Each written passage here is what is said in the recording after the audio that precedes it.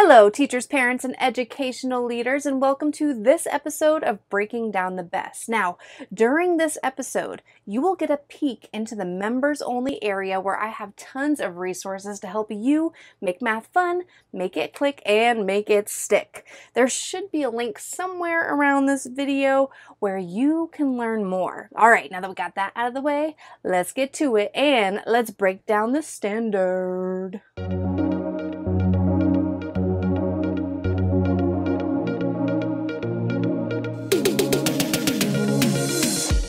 Welcome to Breaking Down the Best, a video series dedicated to breaking down Florida's best standards for math. So, grab something to write with and maybe even a snack this looks good. And don't forget to put a smile on your face. There you go. I see you. And let's dive into today's best standard. Hey, hey everyone, and thank you for joining me as we break down the following standard. Today's standard is MA.4.FR.1.4, and the standard says to plot, order, and compare fractions, including mixed numbers and fractions with different numerators and different denominators. Let's go through that again. Plotting, that means to place a point on a number line. Ordering means to put them in first, second, and third. It might go from ascending order from least to greatest or descending order greatest to least. We'll also have to compare using our symbols right there.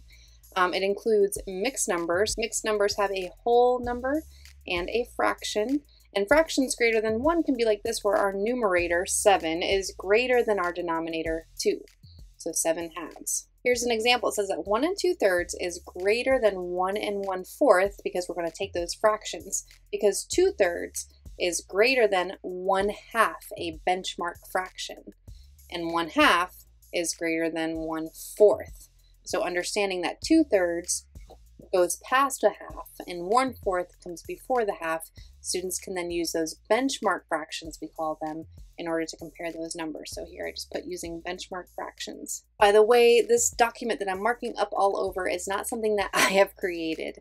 This is something that the Florida Department of Education releases to the public, and in these breaking down the best episodes, I'm just showing you my process for breaking down the standards in order to create the resources for you that are strategically aligned to this standard. So we'll spend about half of the video breaking it down, understanding what the expectations are, and then we'll hop over to the website where I can show you all the resources that you'll have access to with your taking on the best membership, okay? All right, let's get back to the benchmark clarifications. It says that we will be using appropriately scaled number lines and using reasoning about their size. One thing that I love is that we're including the use of benchmark quantities, like I just mentioned previously, such as 0, one fourth, one half, three fourths, and one. Really focusing on the one fourth, one half, and three fourths in between those two whole numbers. When students understand those benchmark fractions, they can begin to think about the other fractions and how they're related to those benchmark fractions. And I put that I love this because we include a lot of practice of this. Denominators are limited to halves, thirds, fourths, fifths, sixths, eighths, tenths, twelfths, sixteenths, and hundredths. And you might be asking, why hundredths? Well, that's because there's a lot of use between the tenths and the hundredths in our fourth grade standards. And we also will be using these symbols right there, okay? Um, some related benchmarks would be MA.4.M.1.1, measuring length in liquid volume, and temperature. This definitely comes into play because when we get to that standard, it does incorporate fractional use so that'll be good. We also have this uh, data analysis and probability where we're representing data for 1.1 and 1.2 is practicing with mode, median, and range.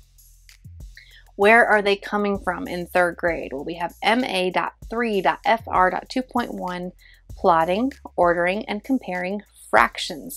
These fractions in third grade contain the same numerator or the same denominator. And this is the difference in fourth grade is that we're shaking that up. No more of the same, I mean, it might have the same numerator and denominator, but we can make it different this year. It's really focusing on those benchmark fractions. And then in fifth grade, we have MA.5.NSO.1.4, where we're plotting, ordering, comparing numbers with decimals. All right, now let's break it down in the purpose and instructional strategy section, and I will point out what jumped out at me. This is the purpose of this benchmark is to understand the relative size of fractions. We've had practice with fractions, and now it's time to start thinking about the relative size of these fractions. Students will plot fractions on the appropriate scaled number line and compare fractions using those relational symbols. And then we'll order them. So plot, order, and comparing fractions going from greatest to least or least to greatest. Again, descending order goes from greatest to least. Ascending order goes from least to greatest. In my opinion, I would have students be aware of both, being able to, to see the relationship between descending and greatest to least and ascending least to greatest. It says that students Instruction may include helping students extend understanding beyond ge generating equivalent fractions. So um, in the video lessons, we do point out equivalent fractions in this. It's helpful to say, okay, well, I know that 3 sixths or 5 tenths is equivalent to 1 half. So that means 6 tenths must be over the halfway mark. So we're extending our understanding with that. We're using that understanding we had and applying it to this setting as well.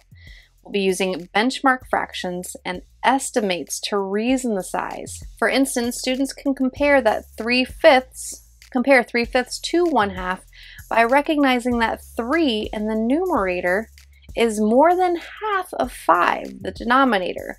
So they can reason that 3 fifths is greater, slightly greater than 1 half.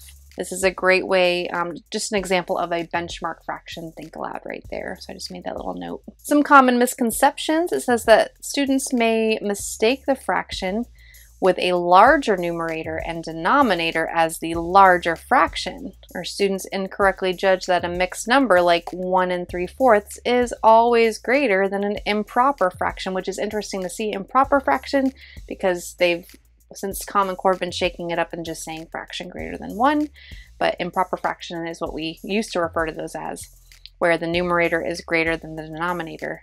Because students see that whole number in front, they think it's automatically greater, but in this case, that's not the case, right? Because 17 fourths would be greater than 4 wholes, where 1 and 3 fourths only has is greater than 1 whole. Here's an example of an instructional task. It says to use the benchmark fractions and the number line to compare 12 fifths, a fraction greater than 1, and 2 and 7 eighths, a mixed number.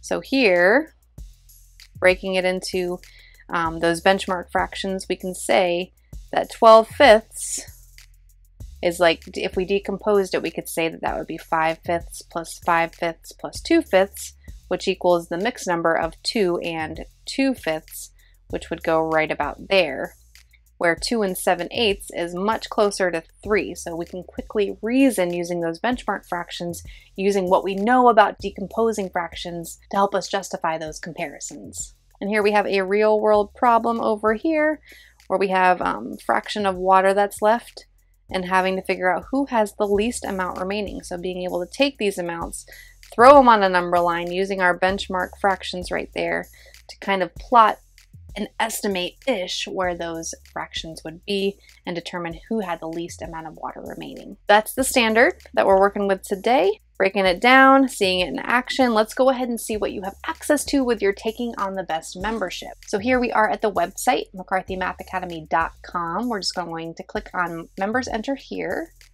select Taking on the Best, we are exploring fourth grade today, and the strand, the fraction strand right there. Scrolling down to plotting, ordering, and comparing fractions, 1.4.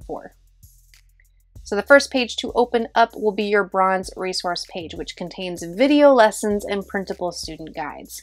So you can see the video lessons available here are using benchmark fractions, introducing them and starting to use them. Plotting, ordering, and comparing fractions that are less than one, which means the next one is going to be plotting, ordering, and comparing fractions that are greater than 1. And here's the printable guides right there. Now the whole point with these video lessons is to make it fun and to make it click. We want students to walk away from this going, okay, where it's, it makes sense what's happening, but where I'm not expecting that they are going to master the skill just from watching the video, which is why we have the silver resources too for students to apply what they've learned in the video to a similar setting, to similar types of problems. So if we go on silver, right here, you can go back to those video lessons at any time Silver Resources. We're going to click right here for the printables. Okay, and now we have the video lessons and the extra practice. Video lesson, extra practice, video lesson, extra practice, and a few other activities at the end. So this is the first video lesson using benchmark fractions. So it says here, these are the, the bronze video lessons, by the way. It says use the benchmark fractions to compare the fractions using the symbols and then justify your comparison in words. So you can watch those video lessons if you need help understanding how to do that. But here we're using comparing two thirds and one fourth. You can see the difference here. We don't we do not have the same numerators or denominators like we did in third grade. This time they're different. Okay, same kind of thing here. All fractions less than one are using benchmark fractions. Okay, so you can see that we've appropriately scaled the number lines for this. But then when we get to the second video lesson, now we just have this number line and we have to create our own benchmark fractions and justify where to plot these points. We're going to plot each fraction, order them from least to greatest. So that's ascending order. You see right here and complete the comparison statements with the correct symbol. You'll notice right here we're just comparing two fractions, but then the second line has us comparing all three fractions. And that video lesson walks them through how to do that. Here we're plotting each fraction from greatest to least this time, so going in descending order and then completing the comparison statements over there. Once they watch that video lesson, then they can use their notes to help them with this extra practice page. And then for this video lesson, it's plotting, ordering, and comparing fractions that are greater than one. So we've got mixed numbers here. We have fractions greater than one right there. Um, a number line provided with the wholes, but still students should, uh, in these video lessons, will be taught how to use those benchmark fractions to help compare. After they watch it in the video lesson, then they'll have the extra practice page to try it on their own. Then we have two more activities. So we have the math mission, that's this right here, plotting, ordering, and comparing fractions. This says Kamari tracks his running distances over the course of the week in the table below. Plot Kamari's running distances on the lines below. So taking all of these and then plotting them. Which day did he run the furthest distance? Which day did he run the shortest distance? So we're seeing the standard in action, providing more responsibility for the student and increasing the level of thinking. Part 3 says the following week, Kamari wants to run even farther than his greatest distance. What would be a possible goal for him to set? All right, and then finally, the last task for the silver membership is the math misconception mystery. This is where which, and this is a video lesson. So if you go back to that silver page, you just click play right there and I will walk your students and you through the whole thing. I'll say, okay, here's your problem. Go ahead and solve it on your own. So it says plot the fractions on the number line, then order the fractions from greatest to least. And then students will after they solve the problem on their own, students will watch as four characters also solve that same problem. Three of those characters will make a mistake and only one of them will solve it correctly. Those characters, of course, are just me dressed up in silly costumes with silly accents and having fun with it. Once you start these math misconception mysteries, your students are going to beg you for more, so be careful. After they watch all of the characters solve, students will then be able to state who the most reasonable answer belongs to and evaluate the work of the other three. This is awesome for friendly debates, for math discourse, to get your students talking and thinking and analyzing those errors. So that is the silver plan. And then finally, we have the gold plan here. You can go back to those bronze resources or silver res resources at any time, but with the gold plan, you also have a mini assessment just for this standard. Well, for all the standards, but targeted just for the standard. So you can see the variety of question types. We're also showcasing that numeral word form. Um, plotting, ordering. You can see it's all about that, a real world setting right there. Um, and an error analysis. So if you have a, if you get your data back and you see that you have a student struggling with this standard, now you have video lessons, you have extra practice, and you have another way to reassess them and see if, if they have it correct. Here's the answer key for that. This is where your breaking down the best episode is located. That's what you're watching right here. There's one for every standard, and it's a perk with the gold membership that you have access to them right there with all of your resources. Now, these breaking down the best episodes for teachers are also available on YouTube, but it does come with ads. So it's a nice little perk of being a gold member. However, the main reason that members usually go for the gold resources because they want access to McCarthy Math 155. This is a daily math intervention that I created that was used and aligned with the Common Core standards. Now, we have the best standards, and you've probably noticed in exploring a little bit with the best standards that there are a lot of similarities. So there's a lot of video lessons and resources here that still apply, that still trickle over into the best standards. So for instance, let's go ahead and click there. And by the way, the 155, that stands for 155 video lessons for each grade level. So when we click on fourth grade and scroll down, you can see all these units that maybe you need to pull out some extra practice because your students haven't mastered these skills. Now, adding and subtracting numbers with adding and regrouping and word problems, you have eight video lessons to support them with that. But let's get down to um, right here, fraction equivalence and comparisons. With the best standard, there's a lot more plotting on a number line where it wasn't really called for with the Common Core standard. So we have comparing fractions using area models and equivalent fractions so they can understand what's happening. But that's why taking on the best was created to really nail that standard and not just give you resources that were going to kind of sort of support you. But if you do need help, if your students do need help in just understanding equivalent fractions or just comparing fractions, this is a great resource to support them with in addition to your taking on the best resources. Okay? All right, everybody, I think that is it for today. I hope that you found this video to be helpful.